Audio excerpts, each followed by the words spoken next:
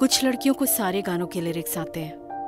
वो हंसती भी हैं तो ऐसा लगता है म्यूज़िक बज रहा है। उन्हें चाहने वालों की कोई कमी नहीं होती। तो क्या हुआ अगर मुझे गाना नहीं आता?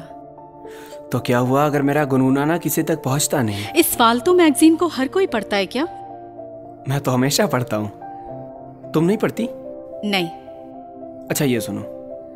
दूसरों के लिए जो महज पेड़ हैं फुटपाथ हैं कुछ लोगों के लिए वो घर है। बकवास लिखा है। तुम्हें बकवास लग रहा है? मुझे तो इसमें सच्चाई नज़र आ रही है। क्या गोल गोल घूमते घूमते कभी मंजिल तक पहुँच पाऊँगा मैं? क्या खुद को पाने की तलाश कभी खत्म होगी? किसी को चाहने में कोई बुराई नहीं है। बुराई है खुद को भूलकर उसकी चाहत में डूब जाना। पर क्या बिना पानी में डूबे कोई मोती निकाल पाया है?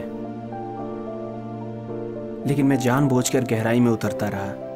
मैं भी डूबने से पहले बहुत छटपटाया था।